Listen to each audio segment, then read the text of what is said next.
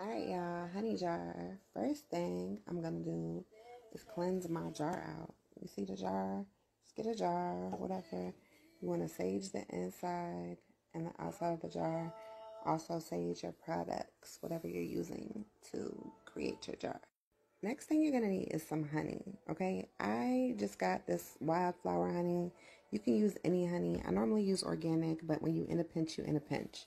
I'm also using some chia seeds, some rose petals, some catnip, some thyme, and some spearmint. And for a little bigger touch, I'm using the shredded money. You can get it on Amazon and there's a couple of other sites. Just type in shredded money.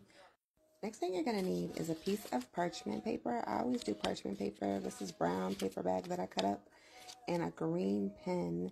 Um, I'm doing a money honey jar. If you're doing love, you want to use pink.